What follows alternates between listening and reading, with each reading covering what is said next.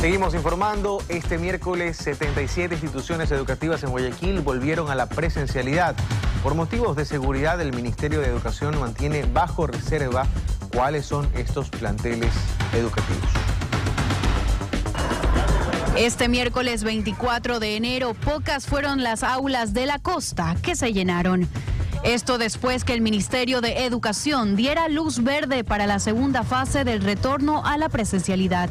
En los cantones Guayaquil y San Borondón de la provincia del Guayas, regresaron 139 instituciones educativas a la presencialidad, 77 de Guayaquil y 62 de San Borondón. Entre los tres factores que ha tomado en cuenta el Ministerio de Educación para determinar qué instituciones no regresan a la presencialidad, están instituciones educativas ubicadas hasta dos kilómetros de centros de privación de libertad Instituciones educativas ubicadas en sectores de alta recurrencia de eventos delictivos o peligrosos.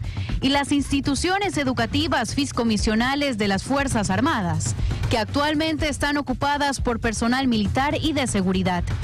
Las autoridades educativas afirman estar de acuerdo con mantener la reserva de los nombres de las instituciones que vuelven a las clases. La información llega pues del ministerio a los directores distritales y a través de ellos por, por teléfono nos comunican y ratifican que no sería una buena opción adelantar el término del año lectivo. No se trata de decirles ya pueden quedarse en sus casas, ya terminó el año lectivo. No, no debe ser así. Esos conocimientos deben ser asimilados por los alumnos. La comunidad educativa de la costa espera que la tercera fase de retorno a la presencialidad incluya a más escuelas y colegios. Es importante ir retomando la normalidad e ir también retomar las actividades. Quienes informarán a las instituciones educativas si pueden o no retornar a las aulas son los respectivos directores distritales. Una vez dada la notificación, el colegio se comunicará directamente con los padres de familia. Vamos a exteriores. El impacto de un bus causó daños a una vivienda y un poste en las calles 26 y Chambers, esto en el suburbio de Guayaquil. Esto ocurrió por la imprudencia de un conductor al no ponerle freno de mano mientras estaba estacionada la unidad. Alex Vargas está en el lugar y nos cuenta más al respecto. Adelante, Alex, te escuchamos.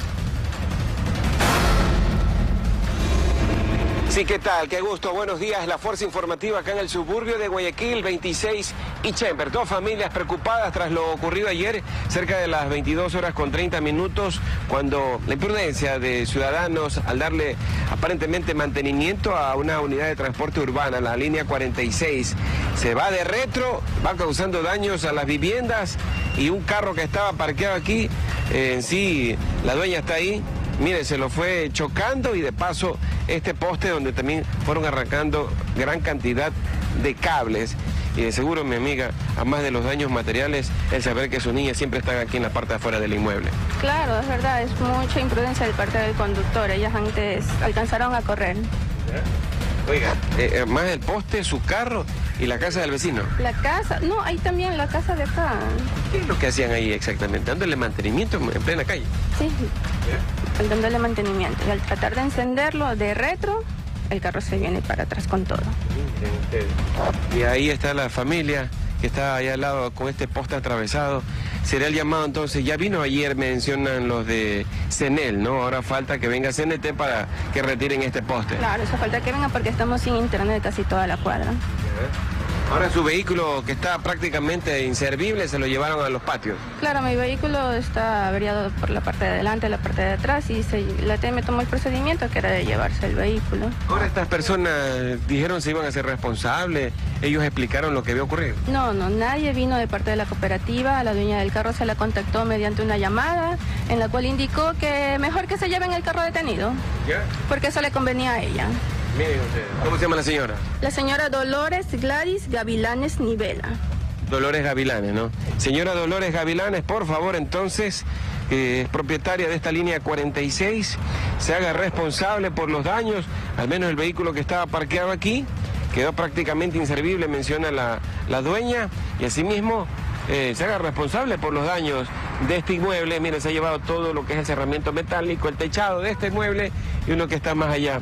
Y desde luego, señores de CNT, el retiro de este poste y asimismo del cableado que está esparcido en este sector de la 26 y Chambers. Es lo que podemos dar a conocer acá desde el sur, suburbio de Guayaquil. Compañeros.